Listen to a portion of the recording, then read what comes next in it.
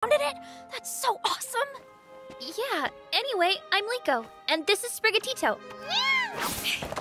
My name's Roy. Do you know this Pokemon's name? It's called Fuecoco.